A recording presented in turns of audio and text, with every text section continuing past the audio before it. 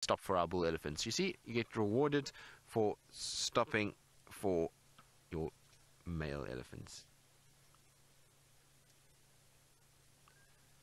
Interestingly, it sounds like there's another herd at Treehouse Dam because I've just heard on the radio the guys calling it in that they're drinking at Treehouse Dam. So seems like we've got multiple different herds on the property, and it's amazing. From no elephants, now we've got three different groupings all seen already this morning.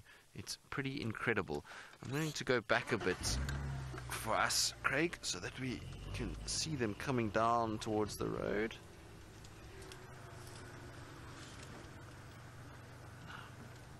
Let's see if we can't just... Oh, a young male is being chased by the matriarch. Look how he's being chased down. And the little one's in tow as well. Look.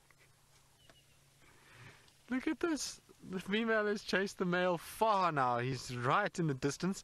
And then a little baby is just coming behind, keeping up with mom, trying to wonder what is going on here.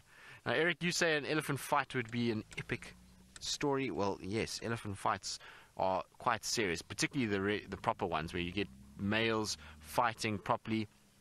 That's will end up with a situation where you get really, very, very, very serious things going, and there's so much power that they can even break tusks, and you'll end up with a situation where there's quite a lot of damage that can be done. Now I'm going to move forward again because it seems like everybody's now settling down and gone back in this direction. Now, Alice, I saw Taylor was just behind me here. Maybe she can go towards Treehouse Dam and go and catch up with that herd because this is a different grouping altogether if you want to let her know. So there's our little... So there we go. That's beautiful. We've got the female, little baby, and a sub-adult. See how they're just sniffing us? and they're always very protective of the little ones. Even the siblings, you'll find that the oldest sort of brothers or sisters will often be the ones that actually look after the babies and they'll make sure that they keep them close by and mom kind of drifts off but the siblings tend to stay very close to the little ones and they kind of look after them and if there's any sort of sign of danger you'll find the siblings will rush to their younger brother or sister's